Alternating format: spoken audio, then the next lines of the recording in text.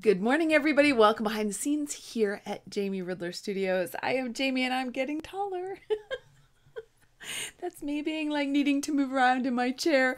It is Wednesday. Yesterday, I was working with a fierce intensity on Give a Girl a Journal, which is the first ever do good initiative at Jamie Ridler Studios, where starting on Sunday, we are going to be working to get as many journals as possible into the hands of as many girls as possible and empower them to use them.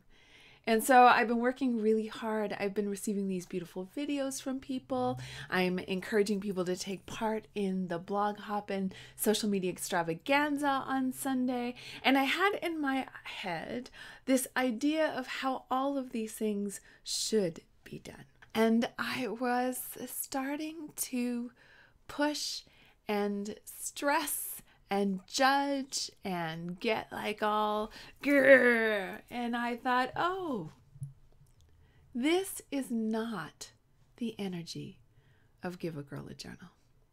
And uh, some of you may have heard me say this many times about my starting my business, Jamie Ridler Studios, that the same thing happened. I found myself working really hard to the point of not enjoying the work anymore. And then I realized, well, that is dumb. that is not the reason I have chosen to work for myself.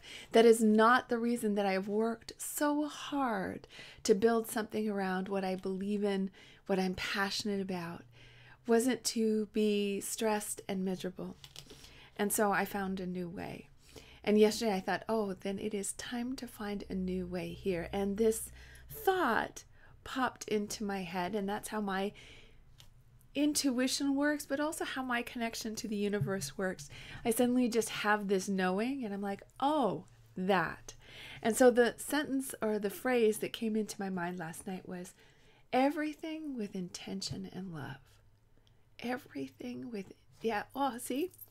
Everything with, this is how I know too. This is when I know I'm on the right path, is I get that little prickly, my eyes, the little catch in my throat, and that's when I know, yes, here. It's like a tuning fork. because here's what I know I want everyone who comes into contact with Give a Girl a Journal to be treated with intention and love. I want every act, every choice, um, every interaction to be one of intention and love. And so that may mean things are a little slower. When I thought this and decided this and thought, we can share, give a girl a journal. Yes, let's have a party on Sunday for the launch. But this is an ongoing project and we can nourish it in an ongoing way and let it grow and I'm getting this feeling of a gangly teenager like, let her grow into who she's meant to be. She doesn't need to do it all on Sunday. Me either. You either. So I am showing up today for this amazing project with love and intention.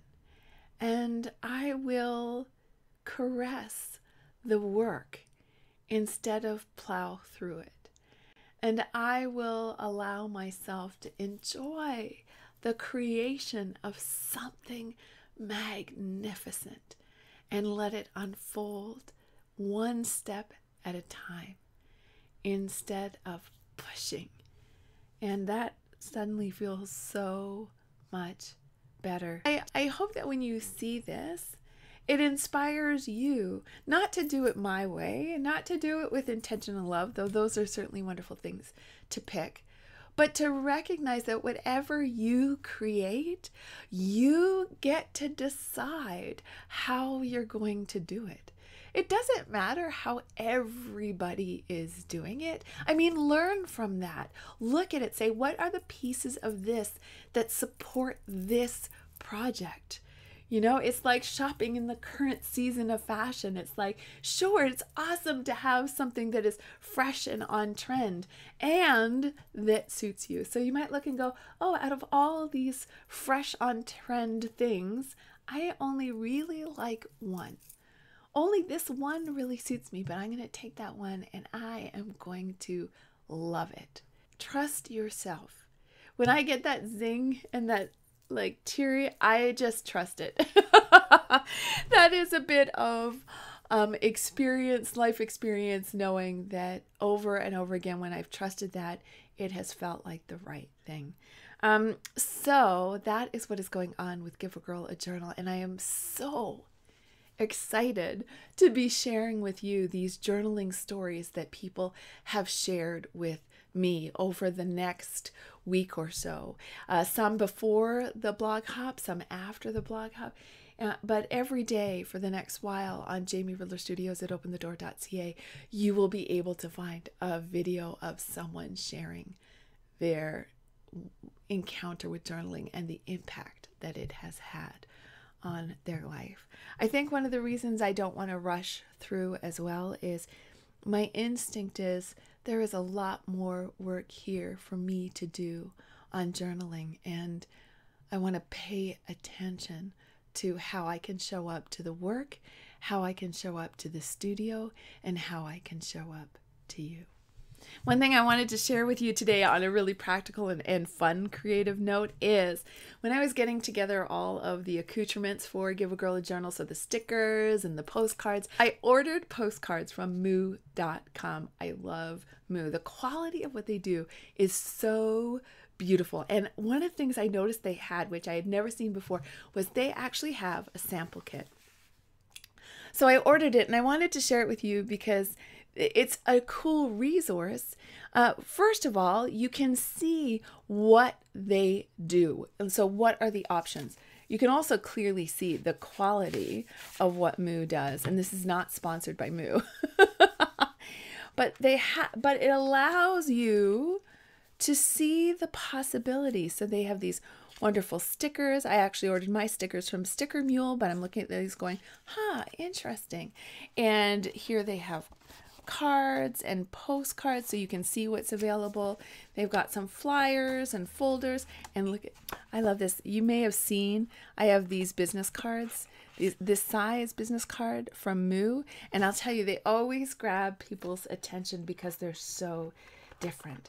But of course, another reason I'm sharing this with you, not only so you can consider where they whether this would be helpful for your project uh, and your creative business, but also because isn't it going to be awesome to stick these in a journal?